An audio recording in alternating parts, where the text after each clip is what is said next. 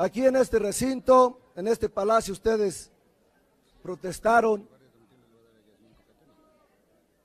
guardar y hacer guardar la constitución política de los Estados Unidos mexicanos. Y la están violando fragantemente. Por esta razón, compañeras y compañeros, así, así, así como han despojado, a tele, despojaron a la nación con privatizar teléfonos de México,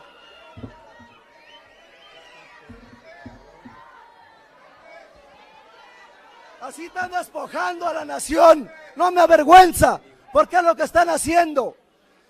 Quitaron y privatizaron teléfonos de México. ¿Y dónde está el beneficio? También, también, sí, también. Diputado, se ha agotado su Ferrocarriles de México. Sí, sí. Solamente me queda esto. Eso no me van a poder despojar. No lo van supuesto. ¡Qué vergüenza! ¡No me da pena! Ustedes también tienen cuerpo. Es lo que están haciendo. Sí, es una miseria. Así lo puedes llamar como quieras. Eres un cobarde. Eres un cobarde. Eres un cobarde. Vente.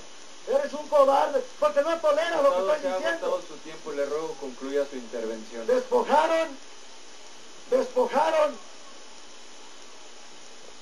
Nos prometieron que se iba a privatizar ferrocarriles de México porque iba a haber desarrollo para la nación. ¿Dónde está? Prometieron que con la privatización de teléfonos de México íbamos a tener mejores tarifas. ¿Y dónde está? ¿Y dónde está?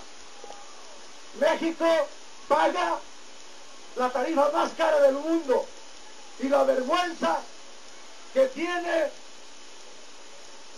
de tener al hombre más rico del mundo, Carlos Slim. Diputado, le ruego concluya su Por eso solicito, presidente, no tengas miedo, el presidente también tiene cuerpo. Le ruego concluya su intervención, su tiempo ha terminado.